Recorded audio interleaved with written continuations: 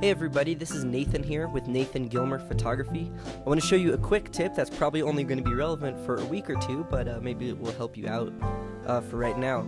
Um, I just bought the Fuji X-T1 Friday, and then that Monday, uh, Visual Supply Company came out with their fifth film pack, uh, VSCO Film 05, and I really wanted to use it, and I was bummed out that I couldn't because as of right now, Lightroom does not support Fuji X-T1 RAW files.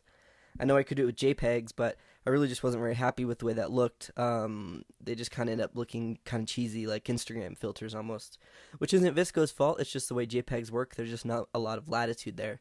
So I was actually able to find a workaround um, because right now, even though Lightroom doesn't support uh, X-T1 RAW files, there is a release candidate for uh, Camera Raw for Photoshop that does. Um, so if you go to labs.adobe.com and open up uh, Camera Raw 8, or I'm sorry, go down here and you find where it says Photoshop Camera Raw 8.4.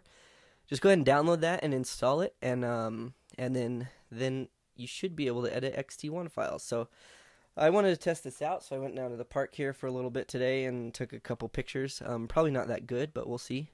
Um, so here, let me put this card in, and uh, we'll walk through this. Okay, so here it is. Let me open it up. Go here.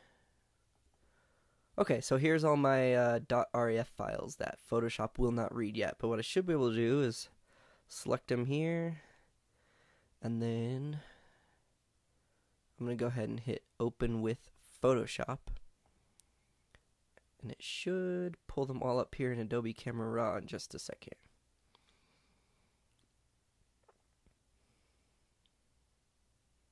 I'm running on a uh, over three year old iMac, so it's a little bit slow here, but we'll give it a second. I've tried this once before and it actually works really well. I'm excited to show you guys. Um, the 05 film pack, I believe they're calling their archetype collection. It's all like classic uh, consumer films, um, which are really great. My favorite is the Kodak Gold. I'll show you guys that here in a minute, but just really kind of brings back that feeling of a you know, the old family pictures and stuff because it's the film that my family would have used. All right, here, so let's uh skip some of these. Go down. These are ones I took last night, so I'm gonna skip those. Okay. So what I'm gonna do is I'm just gonna come down here and I'm gonna select all these. Now what you'd normally do is if you wanted to edit, you would make your edits here and then just open in Photoshop. What I'm gonna do instead is I'm gonna hit Save Images right here and you just want to make sure that uh, this is selected to format uh, to digital negative here, which is going to be your DNG file and your camera raw 7.1 or later. I'm just going to save them to my desktop just because that's easy to find. And uh, anyways, when I import them to Lightroom, it'll move them into my library anyways. So yeah, we're going to save it as a DNG file, and, and Lightroom can accept DNG files. So we're taking these raw files that Lightroom doesn't take and converting them to DNG, which it will. Um, it works pretty good. Now, DNG files are not quite as versatile as RAW files are. I don't think they claim they are, but uh, I don't seem, I don't think there's as much, especially flexibility and exposure and stuff like that as uh, as a RAW file is. But in the meantime, it works pretty good.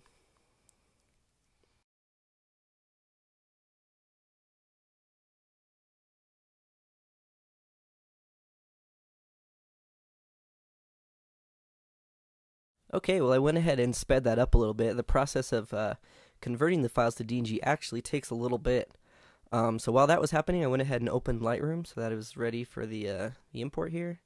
And you can see the last one finished, so we're just going to hit uh, done. And we should be done here, so go ahead and minimize Photoshop. Okay, uh, right over here, so here we are in Lightroom. These are some pictures I was messing around with last night. Um, anyway, so let's go ahead and hit import over here. And then let's hit, uh, we want to go to our desktop because that's where we save these files. Um, so...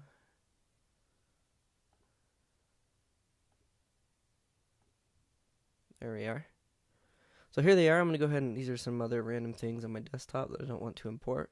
But here's all our uh, DNG files here. So Go ahead and import those.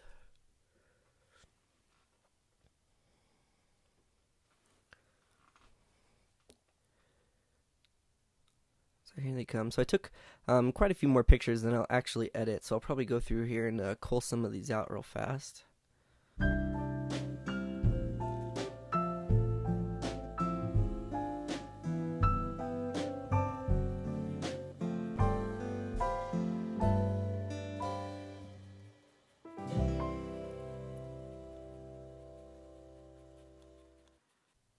Alright, so I just went through and picked a few of the better ones here. Um, I also straightened a couple of them just because I don't really like crooked pictures at all. They drive me nuts, but I know that you don't necessarily need to see that. So, um, yeah, so here we are in Lightroom with our DNG files here. This was this morning. It was actually pretty cold. Um, not a great picture, but it's kind of fun one to play with here. Um, so, and here's our VSCOFilm 05 uh, presets, and I'm going to go with one of my favorites here, Kodak Gold 100. And you can see it makes a pretty big difference. It looks pretty nice. Um, very similar, I think, to what they wanted these presets to look like. Uh, here's another picture. Let's try this one. That one actually makes it a tad warm. Um, so we could either uh, just one of the presets here, but I think it's actually my white balance is just a little bit warm here. So let me let me cool it up a little bit. It's a little bit better. Um, it's pretty cool. There's all these like alternative versions and you know more uh more processed versions. Um, let's try a couple other pictures here.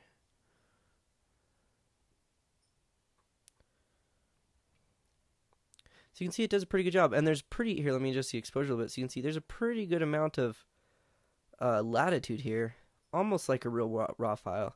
And it might actually be exactly the same, and I, it might just be me, but it's pretty good. You have quite a bit of control. These little ducks. These pictures are kind of silly. I just went out to take some specifically for this here. Let's try the Kodak Gold 200. That looks nice. So yeah, so that's it pretty much. Um, just kind of want to show you guys that it's possible right now to use uh, VSCO film and and edit uh, in Lightroom uh, with your Fuji X-T1. Now this, like I said, this post is probably going to be completely obsolete in um, you know probably just a week or so. As soon as Lightroom comes out with the new version with support for the X-T1, um, then this post won't mean anything. But uh, for now, it's something to play around with. Hope that was helpful, and uh, if you have any questions, just leave them in the comments below. Feel free to check out my site at nathangilmer.com, brand new site actually, and uh, and would love to connect with you. Yep, have a great day.